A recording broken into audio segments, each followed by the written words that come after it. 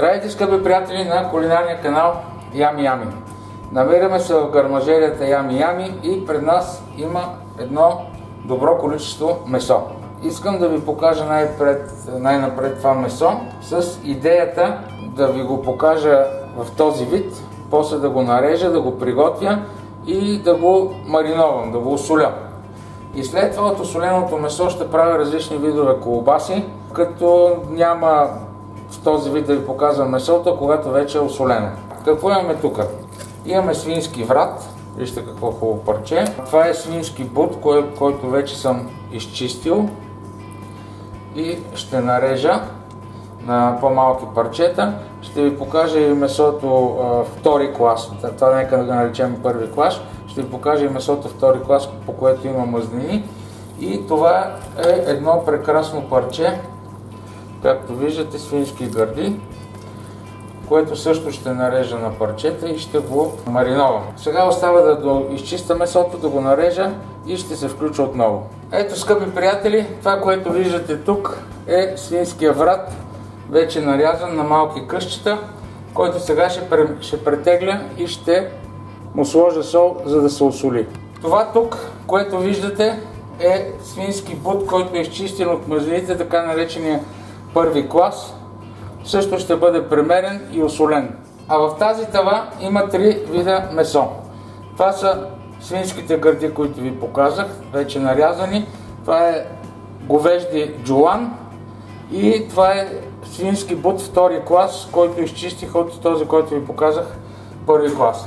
Това са общо трите меса, около 30 кг. Сега виждате месото, което използва Ями Ями за своите колбаси. Така най-добре ще разберете от какво са направени те и как се правят. Сега, както вече казах, ще измеря месото, ще му сложа сол и ще го мариновам за 2-3 дни, след което ще направя поне 2-3 вида колбаси и ще използвам това цялото месо като основа. Този път ще правим един домашен колбас, който е много интересен. Това, което виждате е базовото месо, което правихме в предишния филм, там ви го показах. Това тук е първи клас свински бут, без мазнини, това са свински гърди, това е свински врат. И в тази купа тук е говеждото месо, говежди джула, ако искате да вземете някакво друго месо, да не е много тлъсто, да не е много сухо. Подправките, които ще ни трябват са следните. Чесън, това тук е кимион, това тук е сол, това тук е ким, това е сладък червен пипер, индийско оръхче, лют пипер и черен пипер. И разбира се, вода. Вода по 100 мл на всеки килограм месо. Характерното тук е, че в водата ще разтвориме солта, подправките и така ще подправим, така ще подправим месото. Сега ще ви кажа за смилата на месото. Тук има нещо характерно. Говеждото месо което ви показвам, ще сменим на 3 мм. Ако не е достатъчно ситно, ще го сменим два пъти.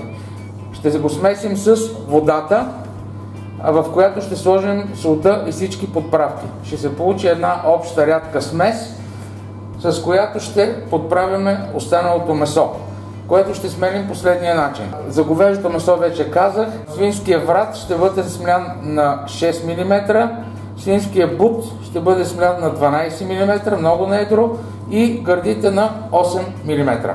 Ето, скъпи приятели, смляното месо за нашия домашен колбас.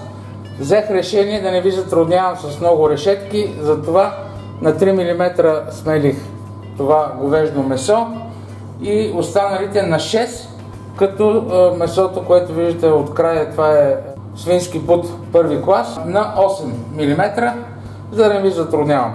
Сега това са подправките, които ще сложа в, в една купа, заедно с говеждото месо и водата и ще ви покажа как трябва да се направи. По 100 мл вода за всеки килограм месо. Слагаме подправките за цялото количество и вътре прехвърляме говеждото месо.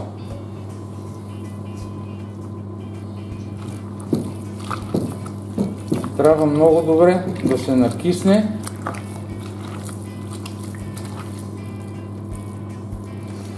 Това е по-интересното в този колбас. И така, вижте, трябва да се бие, за да поеме водата.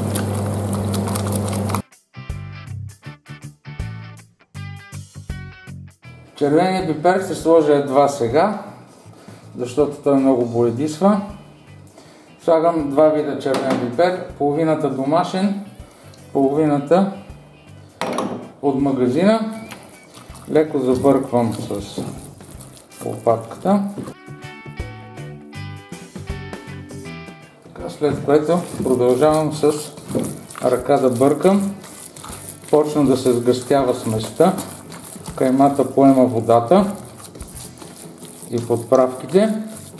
Разбърквам хубаво тази смес и я слагам заедно с другата кайма в баркачката да се обърка и да се овкуси. Ще остава сместа за 12, а най-хубаво 24 часа в хладилника да се овкуси, след което продължаваме нататък. Ето ни с каймата за нашия домашен салам. Вижте какъв хубав цвят е придобил отвътре, от червения пипер. Просто перфектно. Каква консистенция. Мисля, че ще стане нещо много добро. Сега от тук нататък следва пълненето. Приготвили сме нощче, уреда с който ще боцкаме и започваме да пълним.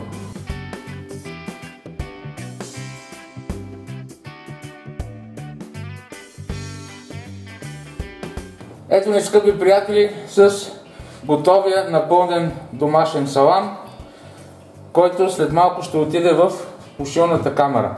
Тук дори две парчета съм направил в вариант, в по-дебел вариант, да видим кое повече ще ми хареса. Този салам ще опушим на студено пушене 10-12 часа, след което ще го оставим да се подсуши и може вече да се консумира или печен, или суров.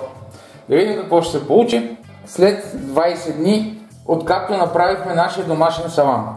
Вижте как се изсушили добре парчетата. Този, който напълнихме в по-дебело черво, още не е съвсем готов. Сега ще опитаме този, който вече е изсъхнал, готов да видим какво сме направили. Ето, скъпи приятели, погледнете.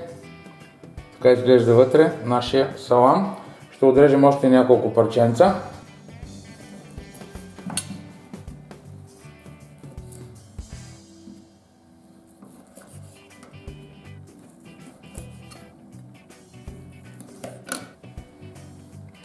Ето, скъпи приятели, погледнете как изглежда вътре. Плътен, страхотен вкус. Просто много добро нещо. Препоръчвам ви да се направите такъв салам. Много е лесен, много бързо съхне. Надявам се, че ще ви хареса. Ако ви харесало видеото, оставете един лайк и се абонирайте за канала. Хубавото предстои. От мен всичко, бъдете здрави!